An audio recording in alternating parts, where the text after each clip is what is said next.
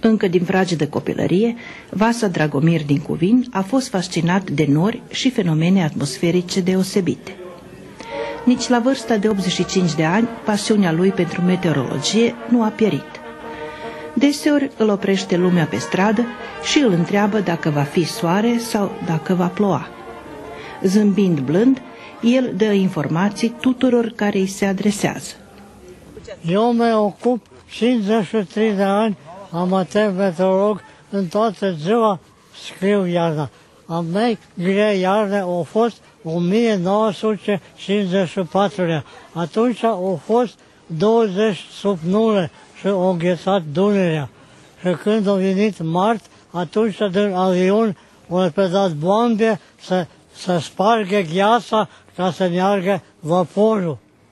El este meteorolog amator și cele câteva apariții pe undele radioului local l-au făcut cunoscut la Cuvin și satele învecinate.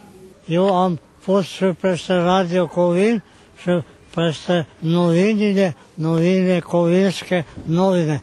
Așa că eu mi sunt cunoscut în delibrata Maramura cu Coline, că scriu în toată ziua cum e timpul. Iată o prognoză meteo pentru anul acesta pe care a comunicat-o Nenea Vasa. O să fie destul de cald anul ăsta până la 35 plus o să fie. Vara caldă o să fie și ploi și să fie anul ăsta mai bun, mai de căldură să fie. Îi dorim viață lungă, sănătate și încă multe prognoze meteo.